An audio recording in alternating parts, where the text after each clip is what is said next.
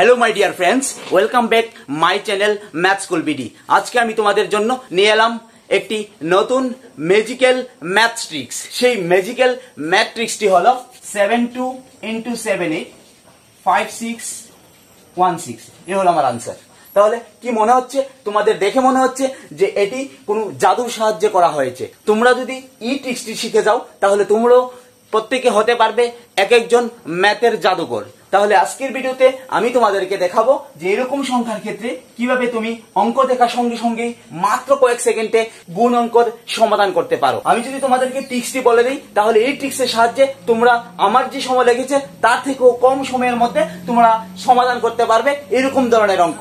এক দুটি এক্সাম্পলের সাহায্যে তোমাদেরকে বিষয়টি ক্লিয়ার করে দিচ্ছি যে কীভাবে সেই ম্যাথমেটিক্যাল ম্যাজিক্যাল ট্রিক্স গুলি অ্যাপ্লাই করে অঙ্ক দেখার সঙ্গে সঙ্গে তুমি তার আনসার লিখে দিতে পারো। ধরে নাও five six into five four তাহলে এই ক্ষেত্রে তোমাকে কি করতে হবে? আনসারটা হবে।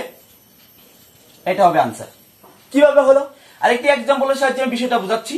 Six six into six four তাহলে কি করতে হবে তোমাকে দেখো?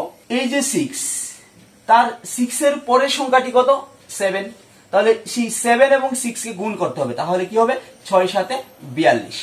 তারপরে কি করতে হবে তোমার? এই যে লাস্ট দুইটি ডিজিট রয়েছে, চার, ছয় চব্বিশ, এ হলো আনসার আরেকটি এক্সাম্পলের সাহায্যে আমি বিষয়টাকে আরও ক্লিয়ার করে দিচ্ছি। Ninety six into ninety four তাহলে কি হবে? নাইনের পরে সংখ্যাটা হলো টেন তাহলে নয় দশে নব্বই, চার ছ চব্বিশ, এ হলো আনসার আরেকটি example seven two seven eight তাহলে কি হবে? সাতের পরে সংখ্যাটি হলো আট, সাত আটে ছাপ্পান্ন, আট দোকানে ষোলো। এই হলো আনসার এরকম ভাবে আমি প্রত্যেক আরও বিষয়টি ক্লিয়ার করে দিচ্ছি তোমাদেরকে এবং ভিডিওটি প্রথম থেকে শেষ পর্যন্ত ভালোভাবে দেখো। এই ভিডিওর শেষে আমি তোমাদেরকে বলে দেবো যে এরকম গুণ করার ক্ষেত্রে তোমাদের কি কি লিমিটেশন প্রয়োগ করতে হবে, কোন কোন ক্ষেত্রে এই ট্রিক্স গুলি অ্যাপ্লাই হবে এবং কোন কোন ক্ষেত্রে এই ট্রিক্স গুলি অ্যাপ্লাই হবে না। এরপরে আরও কয়েকটি উদাহরণের সাহায্যে বিষয়টিকে আরও বোঝাচ্ছি। এরপরে একটি এক্সাম্পল হলো টোয়েন্টি ওয়ান টোয়েন্টি নাইন তাহলে কীভাবে করবে? টু এর পরে কি হয়?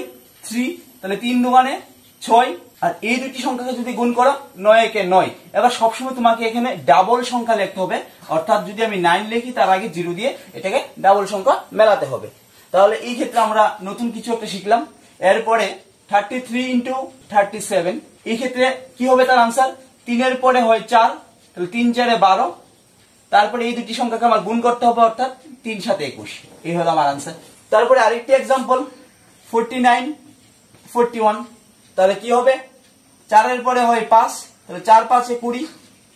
তারপরে এই দুটি সংখ্যাকে গুণ করতে হবে নয় এক নয়। যেহেতু ডাবল ডিজিট সংখ্যা বসাতে হবে, তার জন্য কি হবে?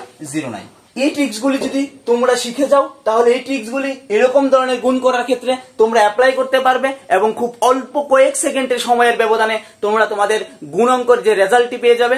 এবার আমি তোমাদেরকে বলছি যে কি হবে তার লিমিটেশন তোমরা দেখো, প্রত্যেকটি অঙ্কের মধ্যেই একটি লিমিটেশন রয়েছে।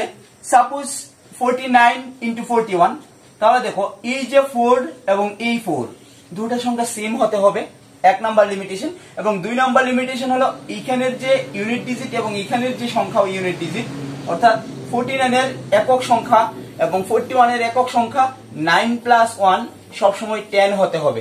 এই হলো আমাদের যে আজকের যে ট্রিক্সটির লিমিটেশন আশা করি তোমরা বুঝতে পেরেছ। যদি তোমাদের সেই ট্রিক্স গুলি ভালো লাগে, তাহলে অবশ্যই একটি লাইক করো, বুঝতে কোনো প্রবলেম হলে কমেন্ট করো, এবং যদি তোমাদের আরও নতুন নতুন ম্যাজিক্যাল ম্যাথমেটিক্যাল ট্রিক্স পেতে চাও, তাহলে অবশ্যই চ্যানেলটিকে সাবস্ক্রাইব করো। ভালো থেকো হ্যাপি থেকো, এবং পরবর্তী ক্লাস আপলোড করা পর্যন্ত ম্যাথ স্কুল বেডির পাশে থেকো। ধন্যবাদ।